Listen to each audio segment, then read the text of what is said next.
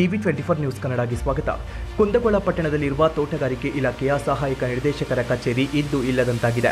ಸದ್ಯ ಕಚೇರಿಯಲ್ಲಿ ಇಬ್ಬರು ಸಿಬ್ಬಂದಿ ಮಾತ್ರ ಇದ್ದು ತಮಗಿರುವ ಅಲ್ಪ ಹುದ್ದೆಯ ಕಾರುಬಾರನ್ನ ಅಲ್ಪ ಸ್ವಲ್ಪ ನಡೆಸಿ ತಮ್ಮ ಮನೆಯ ಆದಿ ಹಿಡಿಯುತ್ತಾರೆ.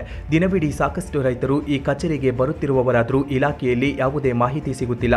ಕಳೆದ ಎರಡು ವರ್ಷಗಳಿಂದ ಈ ಕಚೇರಿಯಲ್ಲಿ ಅಧಿಕಾರಿ ಹುದ್ದೆ ಖಾಲಿಯಾಗಿದೆ ಈ ಹಿಂದೆ ಸಹಾಯಕ ತೋಟಗಾರಿಕೆ ಇಲಾಖೆ ನಿರ್ದೇಶಕರಾಗಿದ್ದ ಪರಶುರಾಮ್ ಎಂಬವರು ಕಚೇರಿ ವ್ಯವಸ್ಥೆಯನ್ನ ಬುಡಮೇಲು ಮಾಡಿದ್ದರಿಂದ ಅವರನ್ನು ವರ್ಗಾಯಿಸಲಾಗಿತ್ತು.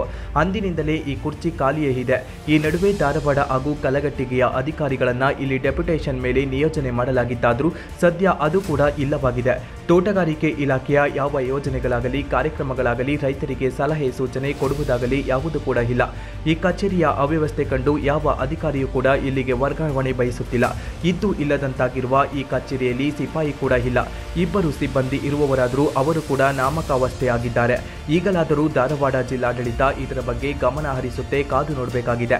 Veeresha Pralaya Kalmath, TV twenty four news Kannada. ತಾಜಾ ಸುದ್ದಿಗಾಗಿ ಟಿವಿ ಟ್ವೆಂಟಿ ಫೋರ್ ನ್ಯೂಸ್ಗೆ ಸಬ್ಸ್ಕ್ರೈಬ್ ಮಾಡಿ ಮತ್ತು ಬೆಲ್ ಐಕನ್ ಒತ್ತಿ ತಪ್ಪದೇ ಲಿಂಕ್ ಶೇರ್ ಮಾಡಿ.